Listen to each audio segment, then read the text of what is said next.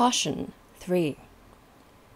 Whosoever expects the benefit of the following prescriptions and rules must not think the reading or bare remembering of them will do the work, but he must work them into his heart by believing and fixed meditation, and live in the daily practice of them.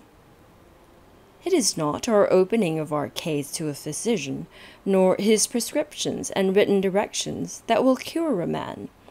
But he must resolve to take the bitter and nauseous potion, how much soever he loathe it, to abstain from hurtful diet, how well soever he loves it, if ever he expect to be a sound and healthful man. So it is in this case also. These things premised, the rules. Rule number one. The first rule to relieve us against our slavish fears is seriously to consider and more thoroughly to study the covenant of grace, within the blessed clasp and bond whereof all believers are. I think the clear understanding of the nature, extent, and stability of the covenant and of our interest therein would go a great way in the cure of our sinful and slavish fears. A covenant is more than a naked promise. In the covenant, God has graciously consulted our weakness, fears, and doubts, and therefore proceeds with us in the highest way of solemnity, confirming his promises by oath and by his seals, putting himself under the most solemn ties and engagements that can be to his people, that from so firm a ratification of the covenant with us we might have strong consolation. He hath so ordered it that it might afford strong supports and the most reviving cordials to our faint and timorous spirits in all the plunges of trouble, both from within and from without. In the covenant, God makes over himself to his people to be unto them a God, wherein the Lord bestows himself in all his glorious essential properties upon us, to the end that whatsoever his almighty power infinite wisdom and incomprehensible mercy can afford for our protection, support, deliverance, direction, pardon, or refreshment, we might be assured shall be faithfully performed to us in all the straits, fears, and exigencies of our lives. This God expects we should improve by faith as the most sovereign antidote against all our fears in this world. Thus saith the Lord that created thee, O Jacob, and he that formed thee, O Israel. Fear not, for I have redeemed thee. I have called thee by thy name. Thou art mine. When thou passest through the waters, I will be with thee. Fear not for I am with thee. Be not dismayed, for I am thy God. And if thou, reader, be within the bonds of the covenant, thou mayest surely find enough there to quiet thy heart, whatever the matter or ground of thy fears be. If God be thy covenant God, he will be with thee in all thy straits wants, and troubles. He will never leave nor forsake thee. From the covenant it was that David encouraged himself against all his troubles. In 2 Samuel 23 5. Although my house be not so with God, yet hath he made with me an everlasting covenant, well ordered in all things, and sure. This is all my salvation, and all my desire, though he make it not to grow. He could fetch all reliefs, all comforts, and salvation out of it, and why cannot we? He desired no more for the support of his heart. This is all my desire. And sure, if we understood and believed it as he did, we could desire no more to quiet and comfort our hearts than what this covenant affords us. For are we afraid what our enemies will do? We know we are in the midst of potent, politic, and enraged enemies. We have heard what they have done, and see what they are preparing to do again. We tremble to think what bloody tragedies are like to be acted over again in the world by their cruel hands.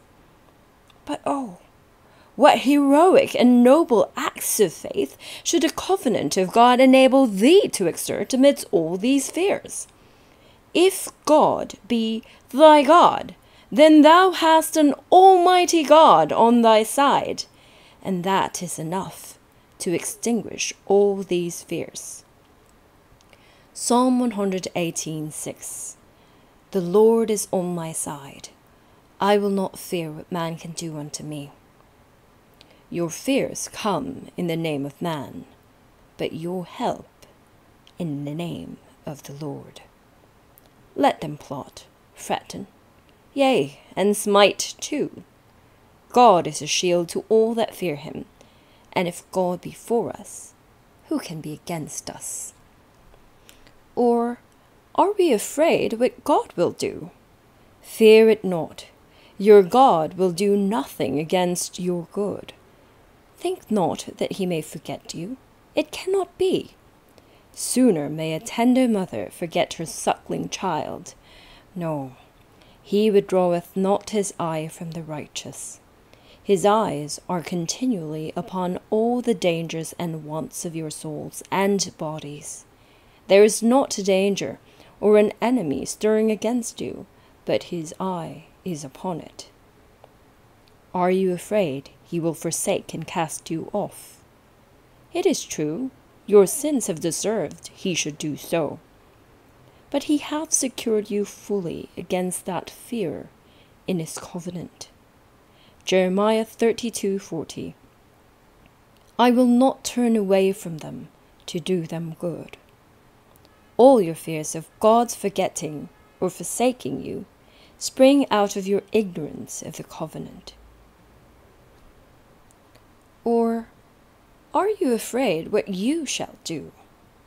It is usual for the people of God to propose difficult cases to themselves and put startling questions to their own hearts, and there may be an excellent use of them to rouse them out of security, put them upon the search and trial of their conditions in the States, and make preparation for the worst. But Satan usually improves it to quite a contrary end to deject, affright, and discourage them. Oh, if fiery trials should come, if my liberty and life come once to be touched in earnest, I fear I shall never have strength to go on a step farther in the way of religion.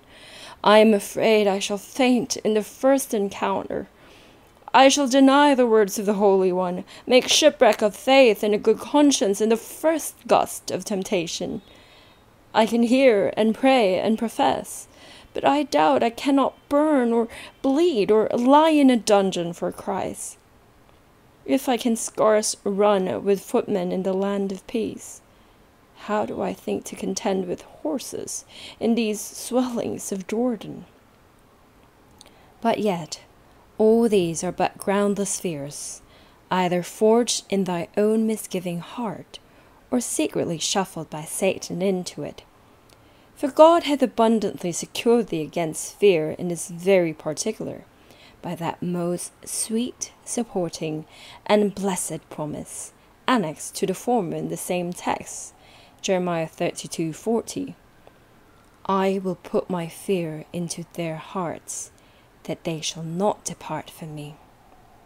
Here is another kind of fear than that which so startles thee. Promise to be put into thy heart, not to fear to shake and undermine thy assurance, as this doth, but to guard and maintain it. and this is the fear that shall be enabled to vanquish and expel all thy other fears. Or are you afraid what the church shall do, and what will become of the ark of God? You see a storm gathering, winds begin to roar, the waves to swell? And are you afraid what will become of that vessel, the church, in which you have so great an interest? It is an argument of the publicness and excellency of thy spirit to be thus touched with the feeling sense of the church's sufferings and dangers. Most men seek their own things and not the things that are Christ's. But yet, it is your sin so to fear as to sink and faint under a spirit of despondency and discouragement, which yet many good men are but too apt to do. I remember an excellent passage in a letter of Luther's to Melanchthon upon this very account. In private troubles, saith he, I am weaker, and thou art stronger. Thou despisest thy own life, but fearest the public cause. But for the public I am at rest, being assured that the cause is just and true, yea, that it is Christ and God's cause. I am well nigh a secure spectator of things, and esteem not anything these fierce and threatening papists can do. I beseech thee by Christ, neglect not so divine promises and consolations, where the Scripture saith, Pass thy care upon the Lord, wait upon the Lord, be strong, and he shall comfort thy heart. And in another epistle, I much dislike those anxious cares which, as thou writes, do almost consume thee. It is not the greatness of the danger, but the greatness of thy unbelief. John Huss and others were under greater danger than we, and if it be great, he is great that orders it. Why do you afflict yourself? If the cause be bad, let us renounce it. If it be good, why do we make him a liar who bids us be still? As if you were able to do any good by such unprofitable cares. I beseech thee, thou, that in other things art valiant, fight against thyself, thine own greatest enemy, that puts weapons into Satan's hand. You see how good men may be even overwhelmed with public fears, but certainly if we did well consider the bond of the covenant that is between God and his people, we should be more quiet and composed. For by reason thereof it is, 1. That God is in the midst of them, as in Psalm 46. When any great danger threatened the Reformed Church in its tender beginning, in Luther's time, he would say, Come, let us sing the 46th Psalm. And indeed, it is a lovely song for such times. It bears the title of A Song upon Alamoth, or a song for the hidden ones. God is with them to cover them under his wings. 2. And it is plain matter of fact, evident to all the world, that no people under the heavens have been so long and so wonderfully preserved as the church hath been it hath overlived many bloody massacres, terrible persecutions, subtle and cruel enemies. Still, God hath preserved and delivered it, for his promises obliged him to do it, amongst which those two are signal and eminent ones, Jeremiah 30:11 and Isaiah 27:3 and it is obvious to all that will consider things that there are the self same motives in God and the self same grounds and reasons before Him to take care of His church and people that ever were in Him or did ever lie before Him from the beginning of the world. For the relation is still the same. What though Abraham, Isaac, and Jacob, those renowned believers, be in their graves, and those that succeed be far inferior to them in grace and spiritual excellency? Yet saith the Church, Doubtless thou art our Father. There is the same tie and bond between the father and the youngest, weakest child in the family as the eldest and strongest.